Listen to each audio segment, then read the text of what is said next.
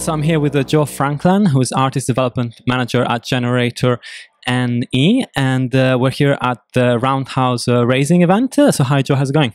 Hello, very, very good, thank you. Uh, great. So, let's talk about the event uh, um, and uh, sort of uh, first of all maybe what G- generator What NE is all do. about Yeah, no worries. So, Generator is based in Newcastle, and we're the UK's leading music development agency. So, we support musicians, artists, and music businesses. Uh, we do a lot of events in the Northeast and across the country, and we partnered this year with the Roundhouse for Roundhouse Rising. Yeah. And essentially, it's two weeks of new music.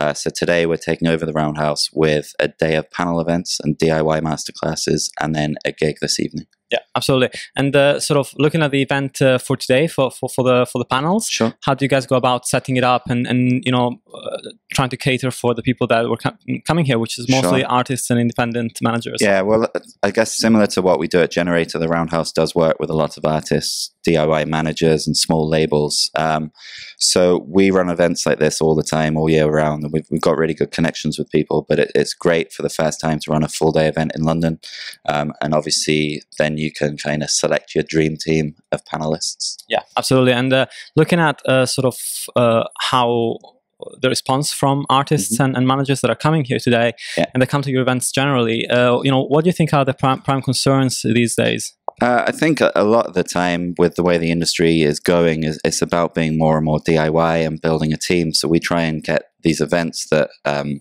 help to fast track people's careers and show them that it is actually possible to build a team.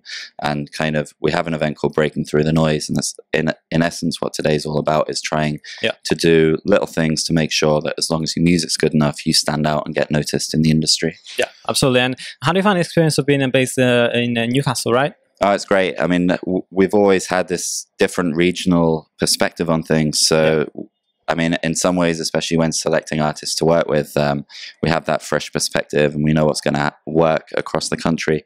Um, and we've been been doing events like this for years up there. Yeah. Um, and it, it's really, really good to bring what we do in the Northeast so well down to London. Yeah, sure. And uh, do you have already a network around here, or is it more like a, a, a way to develop it as well? Yeah, yeah. So we we have key partnerships with all the trade associations, with Yeah. a lot of the commercial businesses around here as well. So we have a really strong network. We also run courses called MMBE, Yeah. um, and there's a an MMBE course in London too.